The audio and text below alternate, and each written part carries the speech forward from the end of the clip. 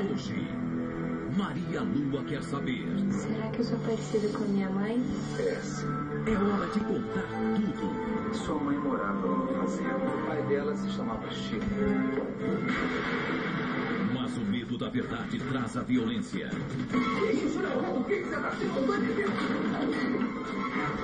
Filho! Venha contar tudo pra ela. Ana Raio e Zé Trovão. Hoje, 10 e 15 da noite, no SBT. Hoje, é hora de contar tudo. Sua mãe morava numa fazenda. O pai dela se chamava Chico. Ana Raio e Zé Trovão. Hoje, 10 e 15 da noite, no SBT.